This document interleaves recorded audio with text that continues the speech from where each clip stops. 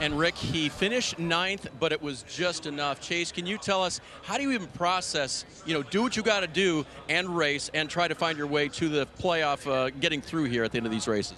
Yeah, it was, uh, man, what a wild day. I told my guys before we even took the, the initial green of the race, there's a difference between thinking we can move on and knowing we can move on. And I knew that we could move on. You know, this team just uh, never gives up. I told them I was never going to give up, and uh, it took every bit of it there at the end. You know, to be easily in, then that debris caution comes out, and you know, still thought we had a really good shot at making it in, and get wrecked on the backstretch, and just crazy at the end of these races, especially the road course race, just how much can change so quickly. So, yeah, I had no idea we were even going to have a shot. I mean, truthfully, I was kind of knew that we were probably out, and I saw the two wreck, and I was like, oh, well, maybe there's still a chance. And we had so much fresher tires than everybody. Johnny pumped them way up to qualifying pressures and this let me go attack and kind of have the ball in my hands. So, yeah, just uh, super proud of this race team. Uh, pretty cool day for Performance Racing School. They're based right here at the Charlotte Motor Speedway at their oval. So got a lot of laps around this place in those cars, and uh, yeah, just really cool day. And uh, looking forward to the round of eight. It's a lot of really, really good racetracks for me, and if we can get to Phoenix, we know we got a good car there too. So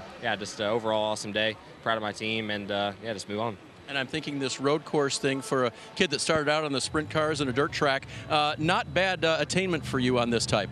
Yeah, it's it's it's weird how it seems like dirt guys, especially sprint car guys. You know, you look at Jeff Gordon, Tony Stewart, Larson, uh, Bell. Obviously, a lot of the sprint car guys. It's just you're such, you know, slipping and sliding so much. You got more power than you can typically put down. It's it's really similar to a sprint cars. So yeah, the, the sprint car background I think definitely helps whenever you come to a place like this. And uh, yeah, cool to see a sprint car guy win and another one move on in the playoffs. Chase Briscoe fans uh, unite and love to celebrate this guy. He'll move on to the round of eight.